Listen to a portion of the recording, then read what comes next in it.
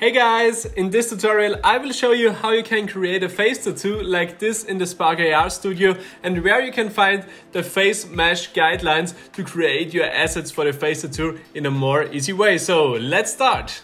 So, before we can get started in creating the filter in the Spark AR Studio, we have to create our face tattoo in a program like Photoshop or any other program where you can manipulate a picture. To do this in a more easy way, we can download the face, reference assets from the Spark AR Studio homepage. I will link the link to the page in the description. Just click on the face reference assets and download them. Then unzip the folder you have downloaded and in there you will find two folders, a mesh folder and a textures folder. Just open the textures folder and in there you will find a facemesh.png which you can open in Photoshop or any other program you want. This will help you to design your face assets more easily. When you have opened the file in Photoshop or any other program, you will find something like this.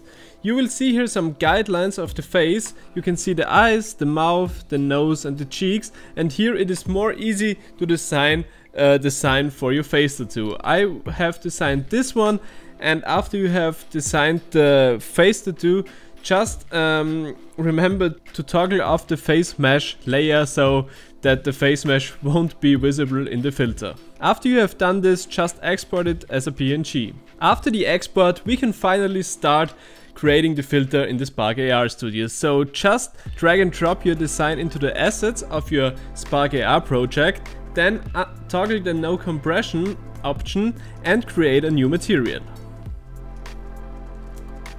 After you have created the new material, we have to create a face tracker object in, in our scene. And in this face tracker object, we have to add a face mesh object. Now you will see this in your viewport. For the next step, click on the face material, go to the shader type and set it to face paint. Then choose as texture the mask texture you has, have created and then go to the face mesh object and set the material to the face material we have just created and now we finally um, created a face tattoo in Spark AR Studio. This was pretty simple and you can change the settings of the material to um, change the appearance of the face tattoo. So you can set the opacity, the background influence and also the brightness of your face tattoo. So you can play around here to find uh, the perfect look for your filter. So yes, I hope I could help you in creating a face tattoo in this in Spark AR. If yes,